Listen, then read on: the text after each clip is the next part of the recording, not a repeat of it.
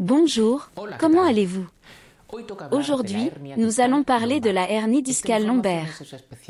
Cette information est particulièrement utile pour les personnes qui présentent depuis plusieurs semaines des symptômes dans le bas du dos, et non dans la région du cou.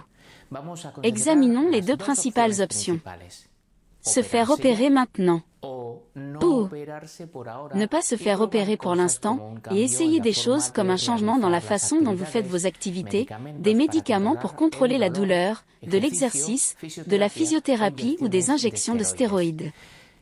Mais commençons par le début.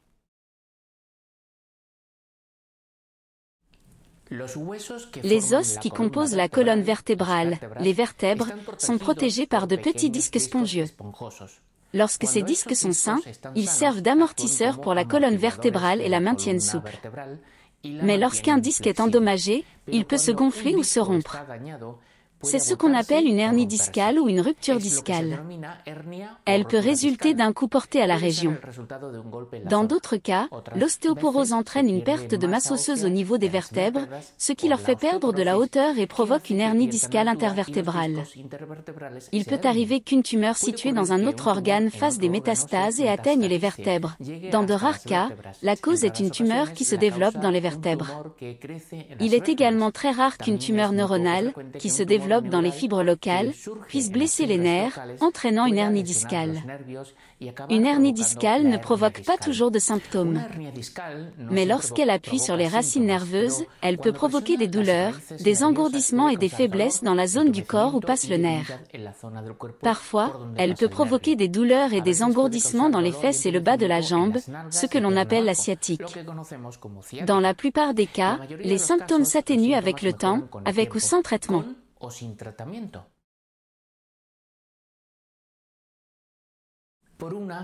Pour une ou plusieurs des raisons suivantes. Les symptômes durent depuis au moins six semaines, rendent difficile l'accomplissement d'activités normales et les autres traitements n'ont pas été efficaces. Vous devez vous rétablir rapidement pour reprendre votre travail ou d'autres fonctions le plus tôt possible. Vous souffrez d'une faiblesse des jambes qui s'aggrave. Votre hernie discale provoque des troubles intestinaux ou vésicaux.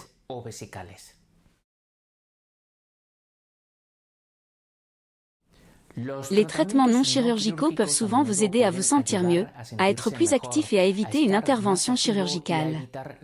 De nombreuses personnes parviennent à contrôler leurs symptômes grâce à des mesures telles que Essayez d'autres façons d'effectuer des activités qui minimisent la douleur. Par exemple, si vos symptômes s'aggravent lorsque vous pratiquez une activité en position assise, essayez de vous lever. Ou alterner entre la position assise et la position debout.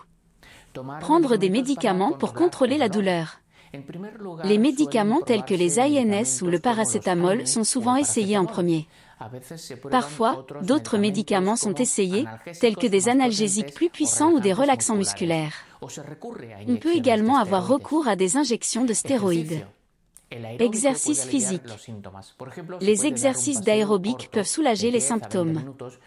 Par exemple, vous pouvez faire une courte promenade, 10 à 20 minutes, sur une surface plane, pas de colline, pas d'escalier, toutes les 2 à 3 heures. Toutefois, il est conseillé de ne marcher que sur des distances qui peuvent être parcourues sans douleur, en particulier dans les jambes. Physiothérapie. Le praticien peut enseigner des exercices d'étirement et de musculation qui peuvent réduire la douleur et d'autres symptômes, et faciliter les tâches quotidiennes. Il peut être nécessaire de combiner plusieurs de ces stratégies pour contrôler la douleur. Une amélioration au bout de six semaines est un bon signe. Souvent, le corps réabsorbe le matériau du disque, ce qui contribue à la disparition de la douleur. L'objectif de ces interventions est de soulager la pression exercée sur les racines nerveuses. Pour ce faire, le disque est généralement enlevé. C'est ce qu'on appelle la disquectomie. Il existe différentes manières d'enlever le disque. Elles sont les suivantes. Disquectomie ouverte. Elle est pratiquée par une grande incision dans le dos. Microdissectomie. Elle est pratiquée par une incision plus petite. Elle endommage moins les tissus environnants. Procédure mini-invasive. Cette intervention est réalisée à l'aide d'une ou plusieurs incisions minuscules dans le dos. Le médecin peut insérer des instruments spéciaux dans les incisions, tels que des dispositifs de coupe, des dispositifs thermiques ou des lasers, pour couper ou détruire une partie du disque. Des études ont montré qu'il n'y avait pas de différence notable dans l'efficacité de chacune de ces procédures.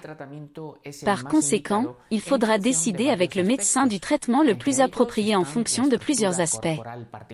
Il s'agit notamment de la structure corporelle particulière, des symptômes, de la nature de la hernie discale, des préférences de chacun, ainsi que de l'expertise et de l'expérience du médecin. Dans certains cas, un petit morceau d'os peut être retiré de la vertèbre affectée. Ce petit morceau s'appelle la lamelle. Il s'agit de la partie fine de la vertèbre qui forme un arc protecteur au-dessus de la moelle épinière. Une laminectomie permet d'enlever la plus grande partie ou la totalité de la lamelle. Le tissu épais qui rétrécit le canal rachidien peut également être retiré. L'une ou l'autre de ces interventions peut être réalisée en même temps qu'une disquectomie ou séparément. Votre médecin peut vous recommander un programme de rééducation après l'opération, qui peut inclure de la physiothérapie et des exercices à domicile.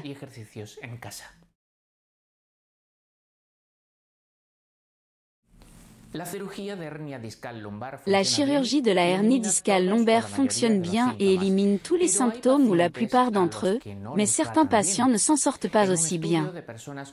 Dans une étude portant sur des personnes souffrant de sciatique causée par une hernie discale, les chances de n'avoir aucun ou presque aucun symptôme trois mois à deux ans plus tard étaient un peu plus élevées avec la chirurgie qu'avec un traitement non chirurgical.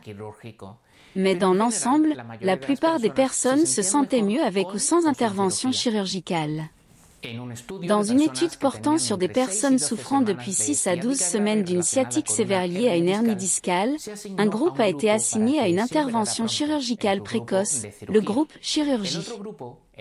L'autre groupe, le groupe non chirurgical, a été invité à essayer des traitements non chirurgicaux pendant six mois, puis à subir une intervention chirurgicale si les symptômes ne s'amélioraient pas. Les deux groupes ont été interrogés sur leur rétablissement deux mois après l'intervention chirurgicale ou le début du traitement non chirurgical. Les patients du groupe chirurgical se sont sentis mieux, plus proches d'une guérison complète, que ceux du groupe non chirurgical. Cependant, après un an, les deux groupes de traitement ont estimé que leur rétablissement était à peu près le même. Si vous n'optez pas pour la chirurgie maintenant, vous pourrez changer d'avis plus tard si vos symptômes ne se sont pas améliorés ou se sont même aggravés avec d'autres traitements. La chirurgie semble tout aussi efficace si elle est pratiquée dans les six mois suivant l'apparition des symptômes.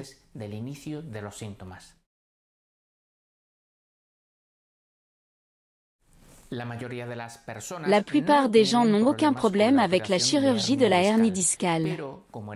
Cependant, comme pour toute intervention chirurgicale, il existe des risques.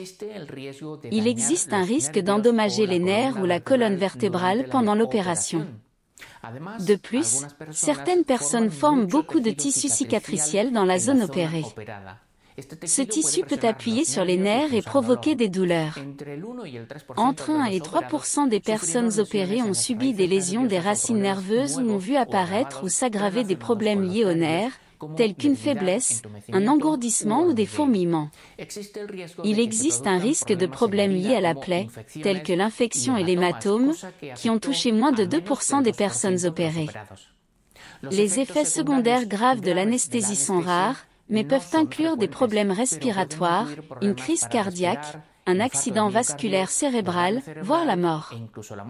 Il est possible que l'opération ne soulage pas les symptômes.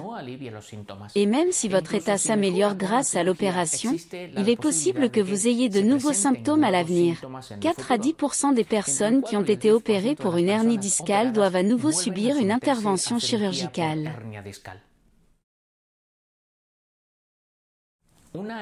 Une hernie discale dans le bas du dos est une cause fréquente de douleurs dans le dos et les jambes.